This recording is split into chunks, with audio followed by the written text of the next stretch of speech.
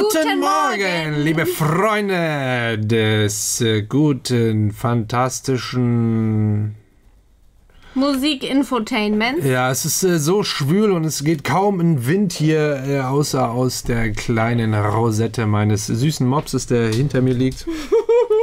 Das ist das Einzige, was wir an Luft bekommen. Ansonsten ist hier. Es ist heute ein Wetter, ich weiß Das nicht. ist richtig ekelhaft. Fass mal meine Haare Nein. an. Die sind so aufgeplüscht. Das ist ganz, ganz komisch. Ich musste die unbedingt in einem Zopf bändigen, Richtig. weil sonst sind die so. Ja, es hat ja geregnet, es ist trotzdem warm und irgendwie schwül und keine Ahnung. Also es war auf jeden Fall eine erfrischende Abwechslung, tatsächlich ins Kino zu gehen heute. Wir kommen da auch gerade her. Äh, Das war sehr, sehr gut, muss ich sagen. Wir waren im Filmpalast hier in Köln. Übrigens sehr, sehr schönes Kino, muss ich einfach nochmal sagen. Ich finde das wirklich super schön. Es ist nicht zu groß, nicht zu klein, es ist alles sauber, äh, alles on point. Super sauber. Ja, und äh, auch der Sound in den Sälen ist gut. Und wir haben da etwas äh, Schönes geguckt, und zwar BTS mit äh, Bring the Soul. Das war wirklich. Ja, unser erster BTS-Film war auch äh, schön, muss ich sagen. Es hat wirklich gerade diese. Ähm, also man muss echt sagen, diese Konzertaufnahmen, die haben schon nochmal, die bringen einen dann schon nochmal auf ein anderes Level. Sowas sieht man dann ja auf YouTube. In der Qualität habe ich jetzt nicht gesehen. Nee, das war schon echt krass. Ich habe auch teilweise zwischendurch immer wieder Gänsehaut davon Mhm. bekommen, Ich auch. weil ich das so krass fand, wie präsent die auf der Bühne sind und wie on point und heftig. Ja, also es war einfach. wirklich ein schöner Film. Äh, wir schneiden das nur mal ganz kurz hier an, weil wir, das jetzt kein BTS-Video werden soll. Aber äh, es war einfach wirklich schön, die Thematik, wie die es aufgebaut haben. äh, Mit, ich will jetzt nicht spoilern, aber ja, stimmt, darf man ja auch nicht.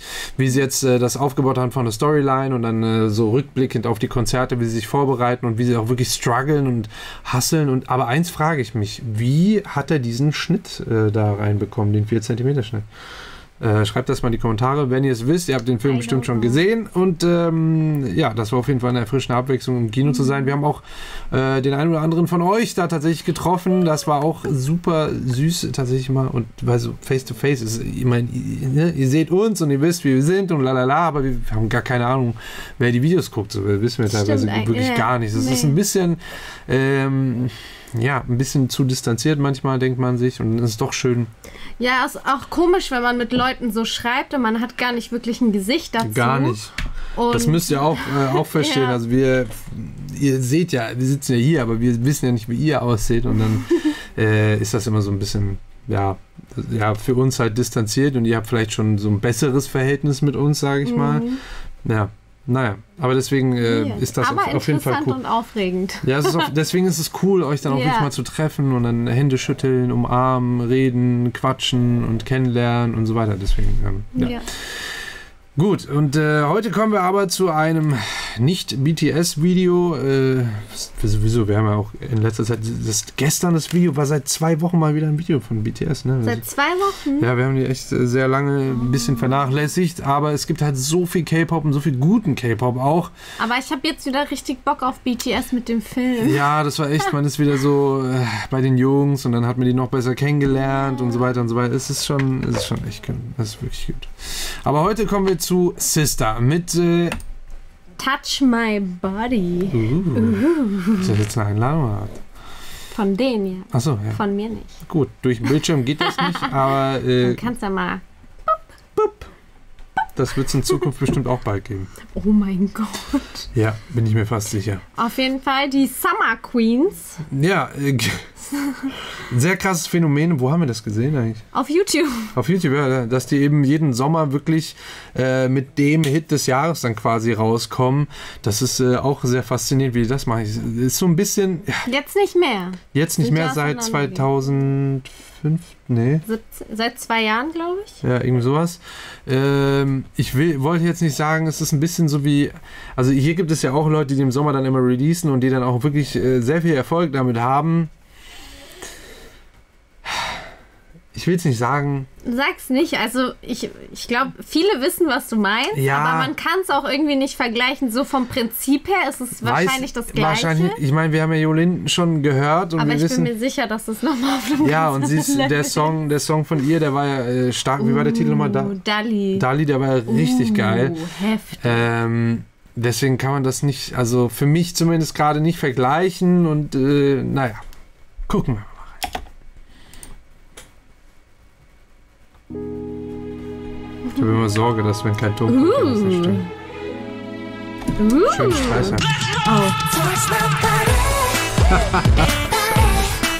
da haben sie uns richtig geflaxt. Geil. Also mich, mich gerade ich so, hä, schöne Streicher und Dings so. Und dann aber, okay.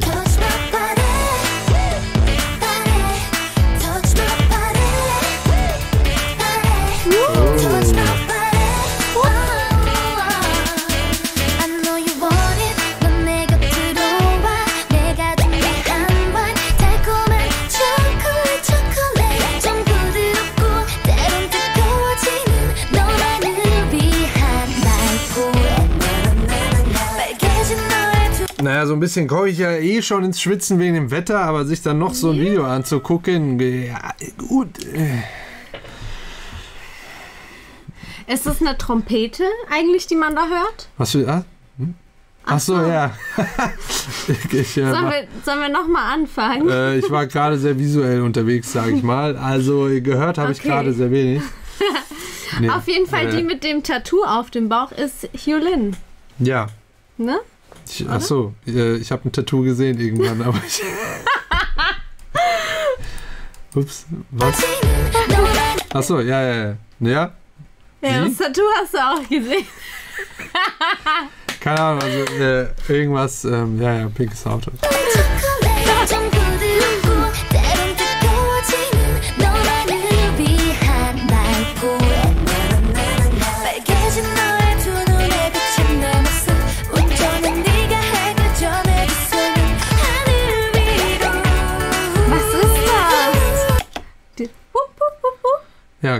Genau das ist es. Ja, mehr ist, aber gut, das ist halt. Äh, Wie so ein. Ja, das ist aus dem, aus dem Synthesizer jetzt irgendwie ein erzeugtes Geräusch. Also ich kann jetzt nicht äh, dem okay, Ding und das andere, Namen geben. ist das jetzt eine Trompete oder nicht? Ja, es, ist, es, es klingt trompetenmäßig oder so irgendeine Horn, äh, also irgendwas, irgendein Blasinstrument. Es wird es auf jeden Fall sein. Aber auch hier wieder synthetisch. Also es ist jetzt nichts. Ähm, was? Du wirst ein bisschen rot. Ja, ja, sag ich so. Mir ist warm. ja, auf jeden Fall wird das äh, irgendein okay. synthetisches Instrument wahrscheinlich.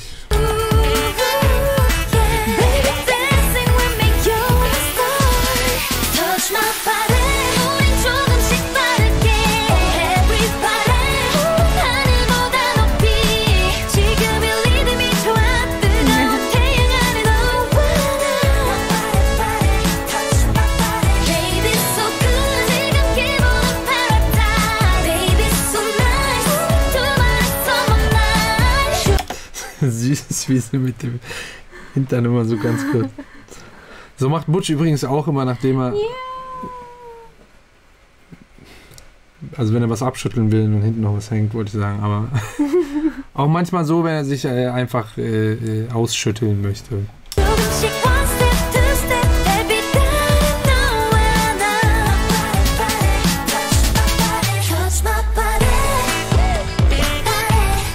Also es geht wirklich gerade nur darum, dass man ihren Körper anfassen soll, oder? Ja. Da ist jetzt nicht Der irgendeine Song versteckte. heißt ja auch so. Ja, aber hätte ja sein können, dass irgendeine zweite Botschaft da irgendwie drin ist oder eine versteckte oder sowas, aber ähm, Nee, das ist ein Sommersong, es ist heiß, das ist wirklich heiß. braucht nicht viel anziehen. Also, Touch my body. ey, touch my body. Ich finde, äh, es ist instrumentaltechnisch, es ist ein bisschen viel los tatsächlich. Also es sind viele sehr mh, präsente, vordergründige Sounds, die äh, dann parallel irgendwie spielen. Zwar nicht durchgehend, aber immer so selektiv oder punktuell, so wie dieses Mi, Mi, Mi, oder so, was du gerade gemacht hast, diese Trompete oder keine Ahnung was. Ja, ich finde das aber so ein bisschen, äh, das lässt das nicht so leicht durchschauen, was da passiert. Äh, könnte am Anfang vielleicht ein bisschen anstrengend wirken, aber dann so spätestens nach der ersten Hook ist man, glaube ich, dran. Oder? So geht's mir gerade.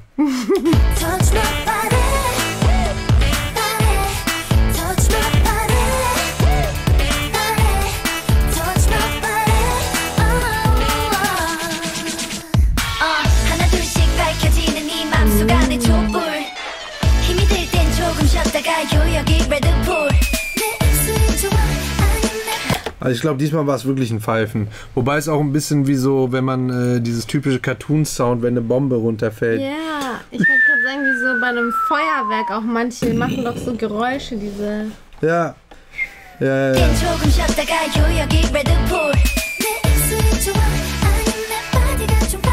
You like my lips or my body? Ist die Frage, welche Lippen?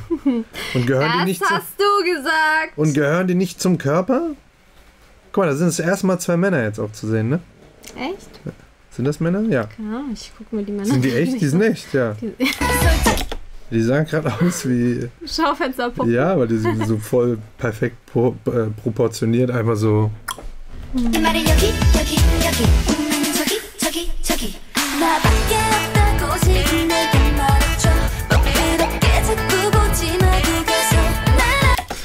Also, es kann ja keiner glauben, dass die schüchtern sind gerade, ja? Doch, die können ja trotzdem schüchtern sein. Und dann präsentiert man sich so und ist schüchtern? Ja, Ja? ja. Ja, stimmt. Ich bin auch schüchtern. Gerade dann, ne?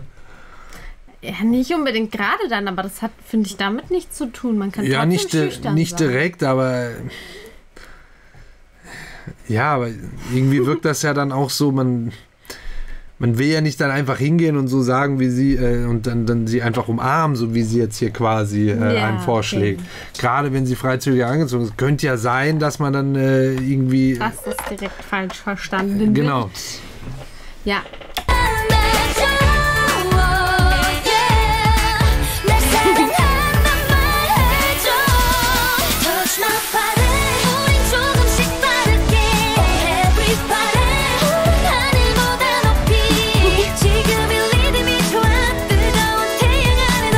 siehst auf die Claps bzw. die Snare wird da auf den Popo geklatscht. Äh, mm. Wir haben da auf jeden Fall heute auch eine gute Videoidee gehabt, ähm, die vielleicht auch was mit Popo klatschen und Musik halt zu tun haben könnte. Aber schauen wir mal, ja.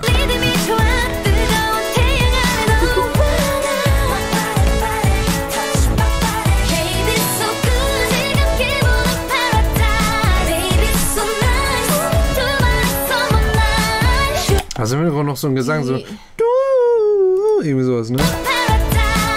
Aber. Äh, die S-Laute sind manchmal ein bisschen scharf, oder? Ja, geht.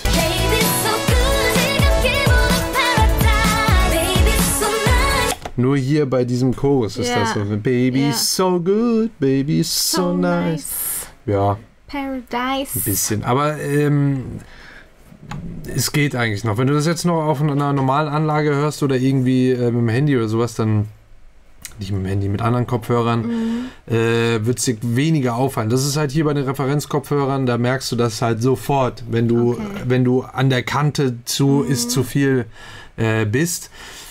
Ja, deswegen sollte man sich die eigentlich auch immer holen und mit sowas abhören, aber jo.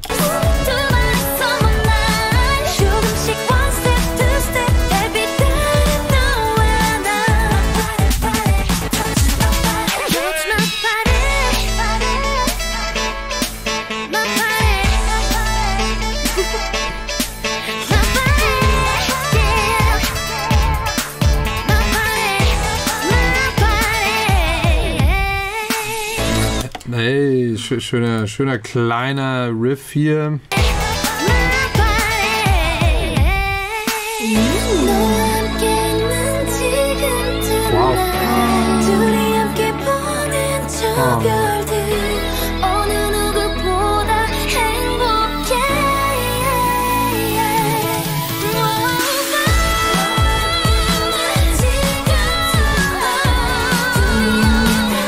Nicht schlecht.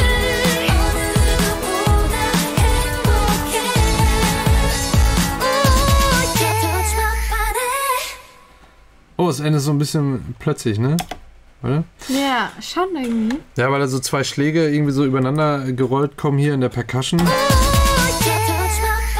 Ne? Und dann plötzlich endet das. Also wirkt es.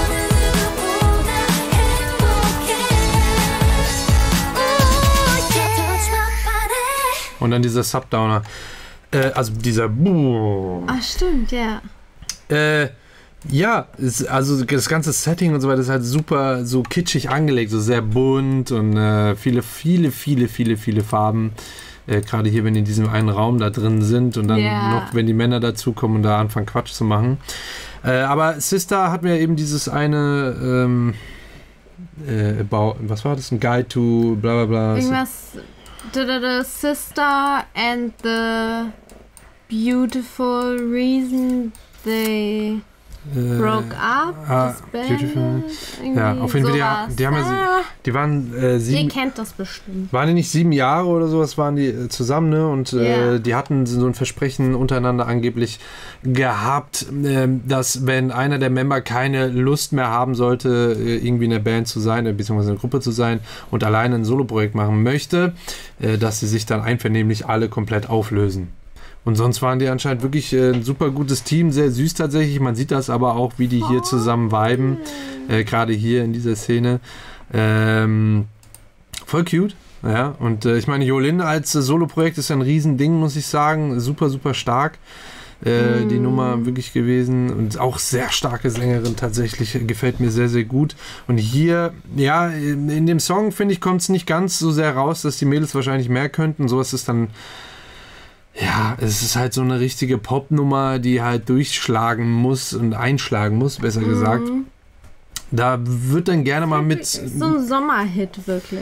Ja, da wird dann immer gerne so ein bisschen gespart natürlich mit so super ausgefallenen Vocal Lines, wenn die dann irgendwie zu krasse ähm, äh, so Riffs oder irgendwelche ähm, ganz krassen Lines da irgendwie singen, gerade in den Adlibs. Das ist ja alles sehr sachte, da ist bestimmt, äh, da können die Mädels sicher sicherlich mehr.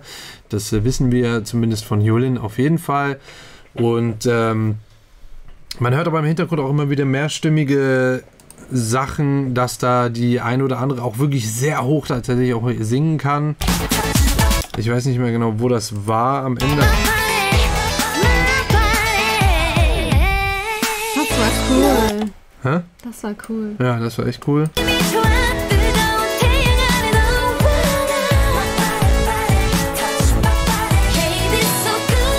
Da ich jetzt vorhin eigentlich schon gesagt, die eine Stelle, wo dann im Hintergrund eine ganz, ganz hohe Stimme kommt und die doppelt dann auch äh, da drauf hin an äh, den nächsten Satz irgendwo auch sehr, sehr hoch.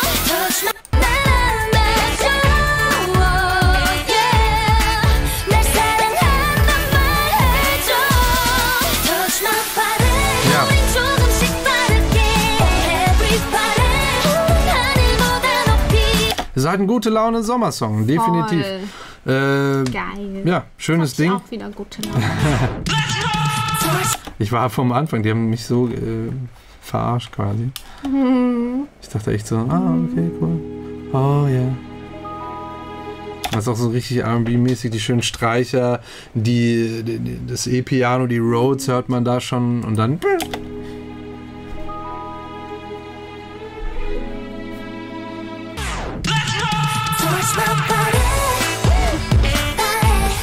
Aber ich finde es gut, dass er nicht ganz so schnell ist. Er hat auch ein gutes Tempo, muss ich sagen. Äh, ja. Gut, ja, hast du sonst irgendwie Fashion, Make-up? Du hast in letzter Zeit sehr wenig gesagt, oder? Zu den, immer in den Videos, weil ich zu viel quatsche, glaube ich. Ja, ich will dich erzählen lassen, weil wir Hm. auf deinem Kanal sind. Ja, gut, aber ich habe dich ja hier als Spezialgast sitzen, damit du auch hier ein bisschen mal sagen kannst, Okay, dass etwas besonders ich schön aussieht, wie zum Beispiel Jolin in diesem Bikini äh, und den Hotpins. ist doch ein besonderer Bikini, oder nicht? Ja. Aber das, ähm, ich weiß nicht mehr, ob es die noch gibt oder ob die von denen das Design hatten oder ob das sogar von dieser Marke ist. Triangle. Hm. Die hatten diese Bikini-Designs. Der Song ist ja auch schon jetzt, weiß ich, fünf Jahre alt oder so. Also ist auch schon wieder etwas her. Ja, fünf Ja. Jahre, Ja, 2014. ja. Kann, kann auch mit Triangle sein, ja. Hm, okay, kann nicht sein. Das war voll cool, die wollte ich auch immer haben. Gibt's die nicht mehr? Doch, die gibt's noch.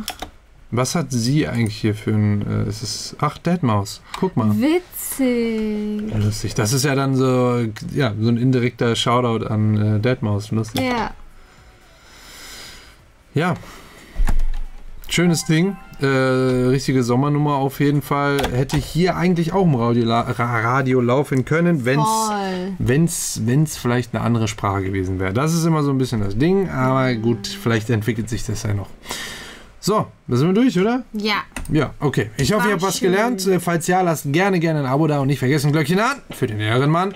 That's me, Rahim. Und äh, schaut vielleicht auch mal bei der Dame neben mir vorbei. Und zwar auf YouTube und Instagram. Alles unten verlinkt. Und äh, ja, ansonsten gibt es täglich zwei Videos. Und äh, es, ähm, das Krasse ist ja, wir sind kurz vor den 55.000 Abonnenten.